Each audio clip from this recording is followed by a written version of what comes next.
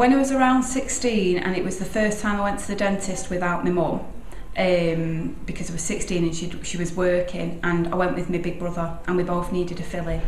Um, so the dentist took my brother in first and he gave him the injection to numb him and then it was my turn to go in to get numbed and then we both went back in together and I sat at the side and when he drilled my brother, my brother hit the roof and he's like, I'm not numb, I'm not numb. So the dentist said, I'm really, really sorry, I'll do some more. So he gave him a bit more and then he went, come on, you get on the bed while he, he, he numbs up.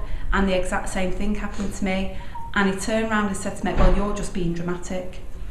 And I'm like, I'm really not. It hurts. I can feel it. I'm not numb enough.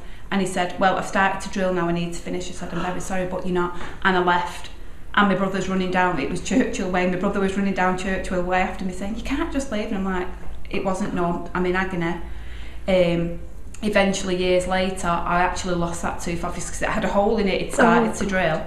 Um, and that put me off going to the dentist for a long, long time. And unless I was in absolute agony, I wouldn't go. Um, and I only started to go back because when I was pregnant with my son, who's almost nine, um, when I went to antenatal, there was a lady there from the NHS that was saying we can sign pregnant ladies up to any dentist they want.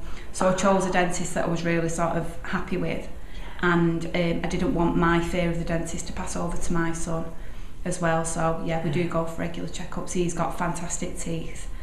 I always say I love my dentist, and if he ever retired or left, then I probably wouldn't find another that I would be happy with. Just really kind, and he, he understands fear. You know that, Yeah. that I, I have a fear. Um, when me and my son go together, I have to be really brave and go, oh come on, it's, we're off to the dentist, mm. you know, to try and not. But it's even been in the past, even if I've needed a fill in, he's had to sedate me because it really scares me now that that much. It is a genuine fear.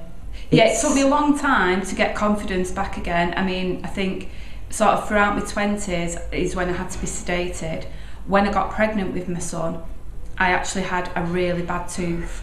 Um, and I wasn't registered at this point. I'd literally, I was literally just pregnant, and I wasn't registered at a dentist. Um, and I had to go to a private dentist in Worsley and pay a lot of money for him just to pull my tooth out. Um, and it was awful. My friend took me, and she was sat crying with me because I was in that much of a panic and everything. I couldn't take anything for it, obviously, because I was pregnant. So it was Yeah. awful. Um, and then, it sort of, when this lady approached me at antenatal and said, "Oh, we can sign you up," I was like, "All right, I know where I want to go."